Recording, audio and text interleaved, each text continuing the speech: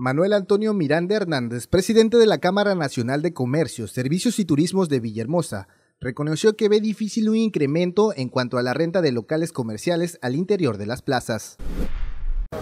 Bueno, mira, este, todavía sigue habiendo locales vacíos que no se han podido rentar.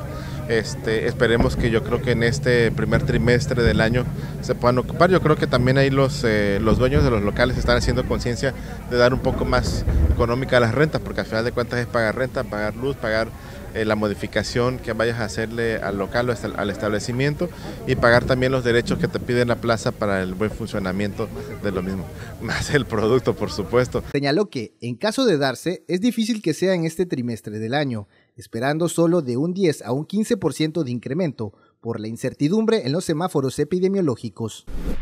Entonces, consideramos que probablemente esto pueda crecer nada más entre un 10 y 15%. No creo que haya más ocupaciones en este primer trimestre, porque bueno, pues todavía hay mucha incertidumbre por la situación de los semáforos. Por último, el presidente de la Canaco Servitur Villahermosa detalló que en la capital de Tabasco se tienen contabilizadas 52 plazas, de las cuales 700 tienen locales que no están ocupados. Nosotros tenemos contabilizadas aquí nada más en la capital 58 eh, plazas, desde la más pequeña que tiene 5 locales hasta la plaza Altabrisa que es la más grande. Entonces ahí nosotros podemos observar precisamente que hay más de 700 locales todavía vacíos en todas las plazas comerciales. Con imágenes de Juan Carlos García, Alberto Pérez Obando, Noti 13.